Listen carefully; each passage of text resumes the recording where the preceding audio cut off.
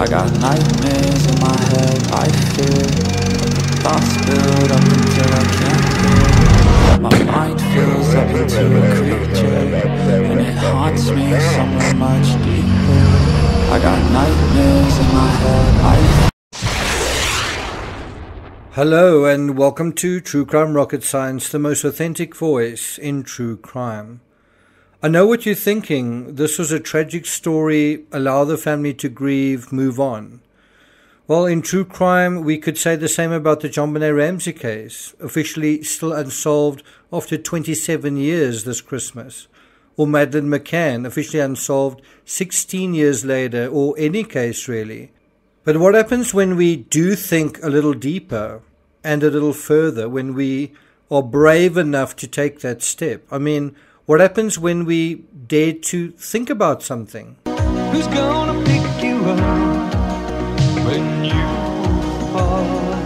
So I want to challenge you to think about the Gaynor Lord case without thinking about it. Did you know that just three years ago, a 48 year old woman, a popular teaching assistant, also died in the River Wensum? She died on February 18th, a Tuesday in 2020. Claire Kerrison's body was found just three days later by divers. Her medical cause of death was recorded as drowning and cold water immersion. According to the Eastern Daily Press, a local newspaper, quote, Mrs. Kerrison was a teaching assistant at St. Augustine's Catholic Primary School in Costessey in its latest newsletter, the school thanked the community for its support and encouraged children to focus on positive memories of Mrs. Kerrison. Shouldn't we do the same with Gaynor and Nicola? Just think positive, move on. What about 55 year old Peter Baglin, who vanished almost a month to the day before Nicola Bulley in the Bridgewater Canal just 35 miles away from where Nicola Bulley went missing? His body was found about a month after Nicola's was. In other words, it took about two months, twice as long, to find by law enforcement, except minus the whole foul play circus. The circumstances were the same, with a few slight variations. He headed out by himself. Phone, had headphones were found beside the canal. No foul play was suspected. If he fell into the canal by accident, how come his phone, headphones, and hat didn't go into the canal with him? I don't know about you, but I find the speculation that there's a serial killer on the loose going around Britain around Christmas, pushing people into rivers quite absurd. Does this serial killer have an invisibility cloak? And what's his motive? That he hates Christmas? What's also insulting about this cure explanation, such a simple, easy explanation, is it removes all the interiority of the victim and turns them and their phantasmic murderer into empty vessels. Is that because they are empty vessels? That they are lacking in thoughts, inner processes, and imaginations? Or because we are? Do you remember when Gaynor's friend spoke about she really wished she hadn't cut her off, she hadn't ended that call, you kind of got a sense of, of Gaynor and you got a sense of her through someone else's humanity. Who's gonna hang it up when you call? I don't think you have to be Sherlock Holmes or a Cassandra to see a pattern, not only between the victims but the survivors.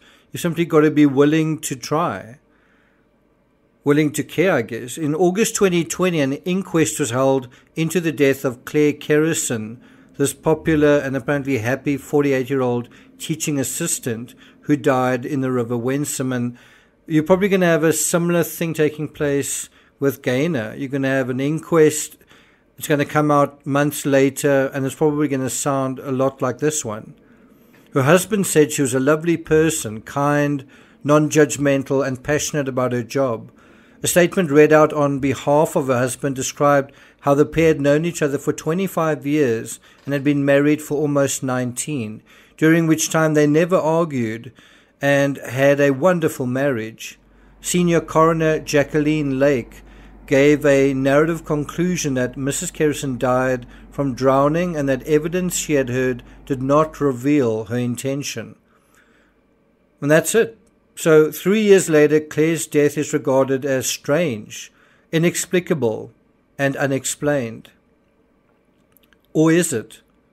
The same article that seems to focus on what a wonderful and happy person Claire was on the surface, and I'm sure she was, makes a passing remark about something that wasn't so wonderful. Quoting from the article, on Thursday, an inquest into her death held at Norfolk Coroner's Court heard how the death of her mother in September 2019 had left her heartbroken and in shock. And here we're dealing with Claire's mother. Claire's mother died in September 2019. Claire's mother died in September 2019, and then early the following year, mid February, Claire died.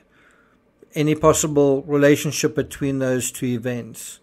Unlike Gaynor and Nicola, but much like Peter Beglin, Claire suddenly left home at 11 p.m.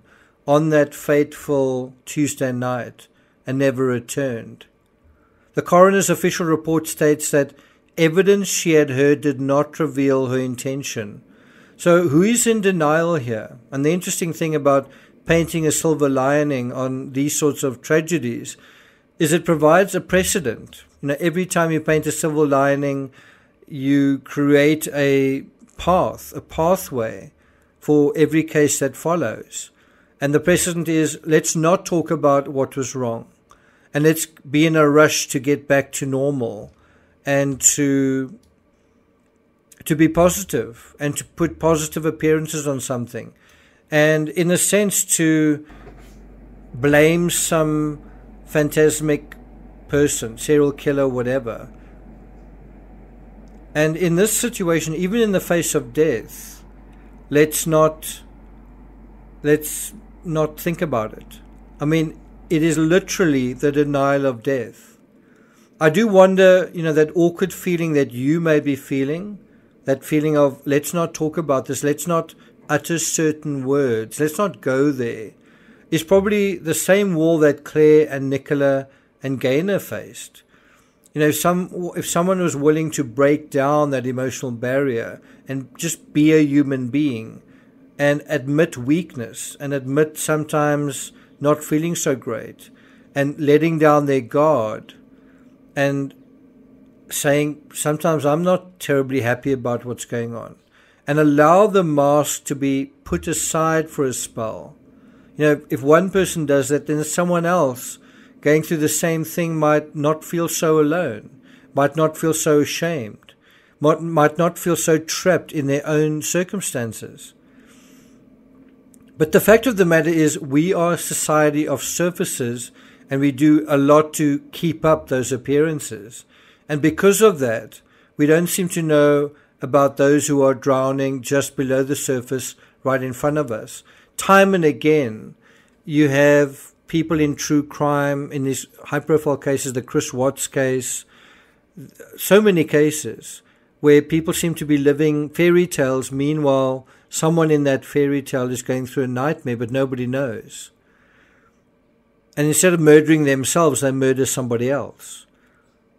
Why don't we know that someone right next to us is drowning in terms of their lives, in terms of what's happening to them?